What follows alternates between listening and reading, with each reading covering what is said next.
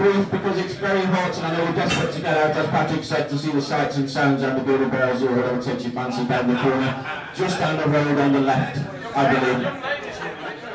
Um, just a quick recap, I'm just going to run through the prizes for day one to the overall winners and uh, the best car, etc. Um, just before I do that, just a reminder, day one, fantastic turnout as usual. Um, from a dress sense, um, you know, we see some great stuff every year. This is no exception.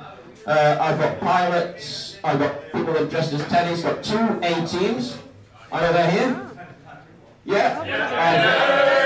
I've, I've got people from Star Wars, I've got Safari Explorers, Mexicans! Mexicans.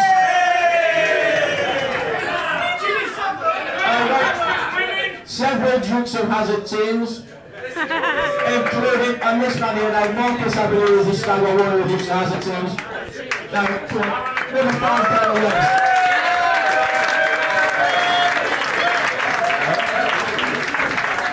And all the magnificent guys, everyone dressed either in small silver outfits the other day.